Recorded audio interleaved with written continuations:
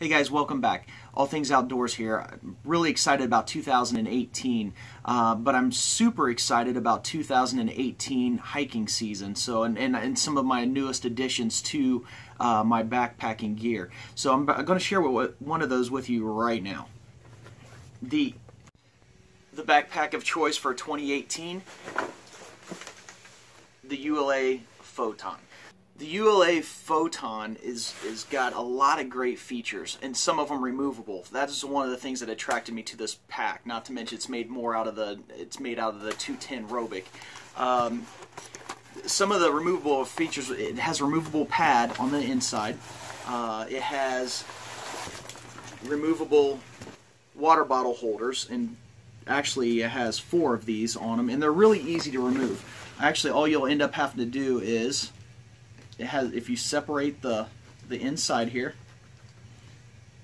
it just flips open and then that releases the tension on the bungee cord. Then you take off the bungee cord then it's easily removed. The, and you don't have to cut the bungee cord. That's the great thing about this little clip. Then you can add it back later if you wish so it has four of those that are removable. It has the hand straps, which I'm on the fence about this. I wasn't sure if I was actually I, I was positive I wasn't going to keep them on there. But the more I thought about it, I kind of tried it on with uh, with a base load just to see what it felt like, um, and, and it might be something that I leave on there. Um, it has on the inside a removable water bottle sleeve and an organizer sleeve. So once you take those things out, you actually lighten your pack drastically. Um, normally this pack weighs about 27 to 28 ounces. I'm going to have mine down to about 16 ounces because of one other thing also. It doesn't have the hip belt pockets. I decided to leave that off of there. One, it's gonna it's only going to sacrifice one liter of storage. Uh, they, they were kind of small pockets anyways, but for the base weight of 7 pounds and probably a 4-day trek weight of about 13 pounds to 14 pounds, depending on how much water you're carrying, um, it, it's not going to be necessary for me. So it's just one thing that I don't need on there, and I really feel like it'll be a little more comfortable for me as well too. Uh, the side pockets do hold about 1.8 liters, um, it, enough for a water bottle, or if you want to put a cook pot in there, if you decide to use the the uh, water bladder sleeve. Um, but I plan on using either smart water bottles. I usually use Fiji. Um, for the main reason that I lost a smart water bottle rolling off of a ledge uh, on a ridge line. So I, I figured Fiji doesn't roll and it's made out of the same material that the smart water bottle is. So I've been using the Fiji as, instead. Um, it does have side compression straps. Um, and then an over uh, a top compression, compression strap as well with enough strap to if you wanted to put a tent across the top or a bear canister um, just anything that, that you might want to latch across the top as well too. Um, on the inside, well, let's talk about this outside pocket. The, the, the outside pocket, I believe, is about three three and a half liters is what the outside pocket is. Normally, it's made out of a stretchy mesh. I opted out of the stretchy mesh, mesh and wanted more of a, a rigid, non non flexible mesh. Uh, just my personal preference. Um, I have the stretchy mesh on my Osprey. Not a fan of it. Um, it just I, I, like the way that the non-stretchy packs a little better. So and again with the shock cord on the outside, it is removable. now as far as the roll top, enclosure here. Uh, just pretty much standard. It does have an extension collar for about 400 cubic inches, about six and a half liters. Um, is what what you can fit as far as in the extension collar. The main body of it's about 20 liters. Uh, overall, the, it's a 35 liter pack minus the one liter of the uh, storage in the hip belt. Uh, mine's going to be 34 liters. So um, the, the, size of the pack is huge, and I'll show you this here. Uh, you can actually fit, I mean, a BV450 bear canister fits in it super easy.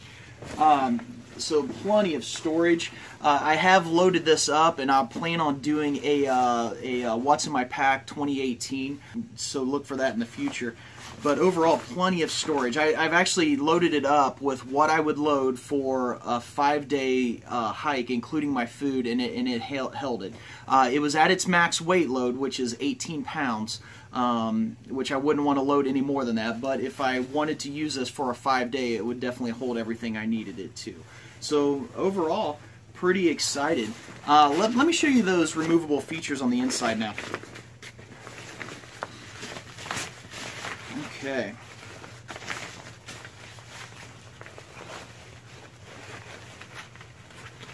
So we have the water bladder sleeve here, and there's just a clip that pops apart, and then it slides out, and then you can actually take that apart if you wish.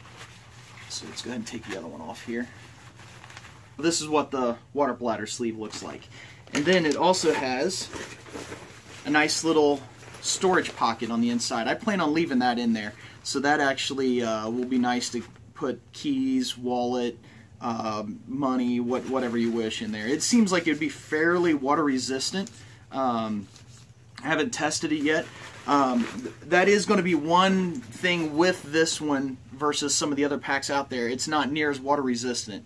Um, so I plan on using a pack liner with that. And the pack liner of choice, it is the 20 liter Sea to Summit Ultra Sil Nano. This thing's ridiculous. It's like literally 1.2 ounces, I think.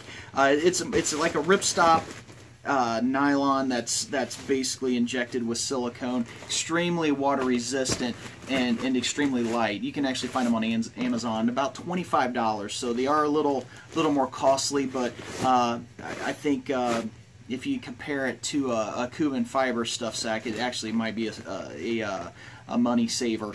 So that might be an option there. So outside that, guys, that's the pack. Um, you know, pretty excited. Can't wait to get it out on the trail and see what it see what it looks like. So stay tuned and, and be looking for my What's My Pack 2018, and also be looking for here in February my uh, trip to the Superstition Mountains. So the route is still in question. I'm meeting a buddy there, um, and we're going to either do the Siphon Draw Trail up to Flatiron, or we're going to look to do some sort of loop, maybe around uh, Weaver's Needle. There's there's a couple different options out there. So don't quite know where we're going yet. That's up to him. This would be the first trip I'm not making the route on, uh, but I am taking a map, Jim.